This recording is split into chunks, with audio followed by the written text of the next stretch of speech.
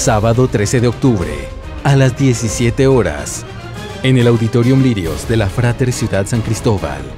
Serás testigo de un gran acontecimiento en la Movie Celebration de Jóvenes Adultos Frater. Trae a un amigo o amiga. Entrada gratuita.